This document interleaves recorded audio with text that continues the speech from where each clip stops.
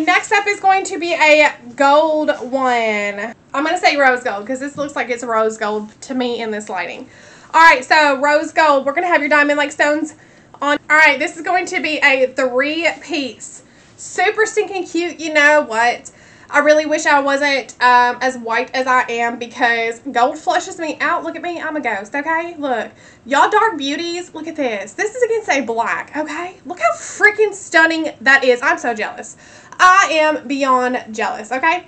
So we are going to have three tiers. You're going to have your, your first tier and it's going to go into like this little starburst style. Super stinking cute. Your second one's going to go into your little diamond-like stone on there.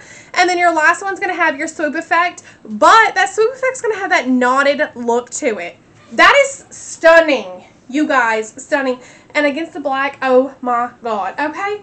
Number 2006. 2006. Alright, guys. And gals. Actually, I'm going to do one more. Hold that thought. Alright, next one up is going to be a, uh, I'm going to call it the opal style. It's I think it's called white online, but you're going to have your opal beading on your silver fish hook. does have an extender. This one is going to have your opal stones on there. Super stinking pretty.